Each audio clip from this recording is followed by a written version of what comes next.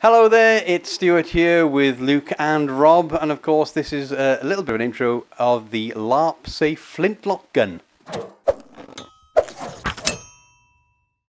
So, um, Rob, then you, you, you, I know you sort of backed a Kickstarter uh, for Yeah. this as well. Uh, Yes. That was done by uh, Gideon Lawrence, if I remember rightly. Done by Gideon Lawrence for Wyvern's Tales, Stories and Histories.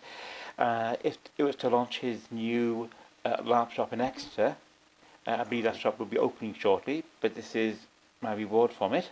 Okay. And this is a completely LARP safe flintlock pistol. Uh, it's made by Andy Rimmer of Office Studio and Ski and More. yeah.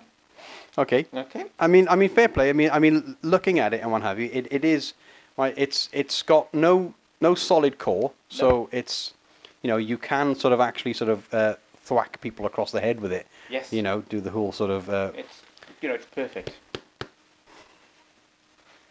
uh, and, and what have you. So, and, and, and fair play, it's it's a beautiful looking sort of uh, bit of kit as well. Uh, You've done a very good job on it. Uh, so, what's the ammunition for it? Party poppers. Of course, I mean, why why would you not think Why of anything else? Yeah.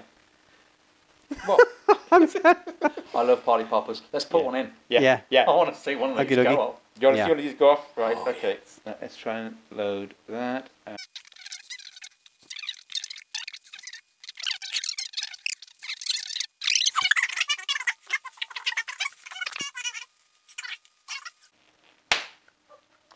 You see, I'm seeing the downfall to this really because it was going really well until all of the lovely kind of you know streamers started to come round, and potentially this is what you're kind of left with, isn't it? Really, maybe this is the splatter. I don't ah, know. oh, well, no, but, but do you, don't you get it? Now you can see who's been hit. Wow. I'm seeing the upside. Yeah, absolutely. Yeah. totally. Yeah. So, party popper, being cut down. Look inside the top half, that's where all the paper goes. Ah, right, Underneath okay, that, yeah. little, that little cardboard seal, Pretty. but in the bottom, there's the bit that goes bang. Okay, now we're loaded again. So again, you get the gun. You get the gun, you point the gun at the target, and they wince a moment as you just put it on target and ah, look at it. Oh, that's significantly louder. Significantly louder. That's a lot louder than I was expecting. Yeah, so fair play, Andy. You have done an, a, an excellent job. It's a fantastic looking bit of kit, um, and uh, yeah, I, I really really like it. It's it's it's it's clever. It's a great idea. Yeah.